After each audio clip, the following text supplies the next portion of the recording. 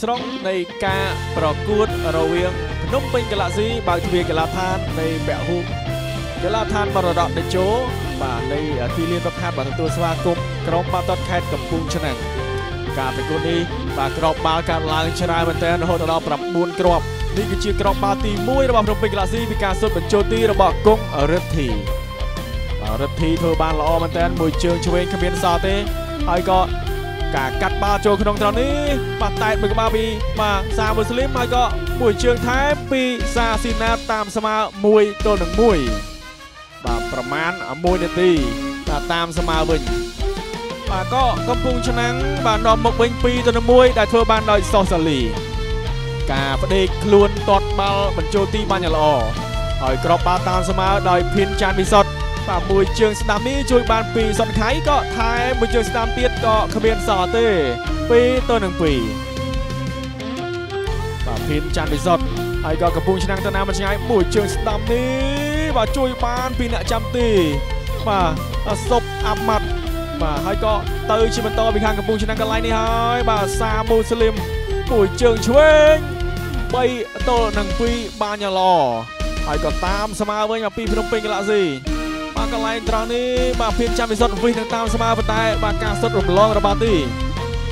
ឱកាសតាមស្មើរបស់ភៀនចាំវិសុទ្ធពីការបញ្ជូនរបស់ម៉ូស្លីមបានយ៉ាងល្អវិសុទ្ធទៅសុទ្ធបាទជើងស្ដាំចូលប្រឡោះជើងសុនខៃតាមស្មើ3ទៅនឹង3បន្ទាប់ពី3ទៅនឹង3ហើយក្របបាល់ក៏នៅតែបន្តកាត់ឡើងនៅវគ្គទី2វគ្គទី1ក៏បានបញ្ចប់វគ្គទី2ក៏ចាប់ផ្ដើមការកែបាល់ចេញពីកំពង់ឆ្នាំងឱកាសដំបូងយើងឃើញថាក្របបាល់ នៃការរកបានយ៉ាងល្អបាទពីសាមូស្លីមត្រង់នេះបាទវីនឹងមានក្របបាល់កាត់ឡើងបាទប៉ុន្តែជួយបានពីលីម៉ាត់ណូការលើកបាល់ពីបាទខេនចាន់រីសុតជួយបានពីសុនខៃហើយឱកាសត្រង់នេះពីការសុតរបស់គង្គរទ្ធីបាទនាំមុខ4ទៅនឹង3ពីការសុតមួយជើងស្ដាំបាទចូលមុំធំបានយ៉ាងល្អ4ទៅនឹង3រកបាន2គ្រាប់ម្នាក់ឯងសម្រាប់គង្គចន្ទរទ្ធីភាពសបាយរីរាយក៏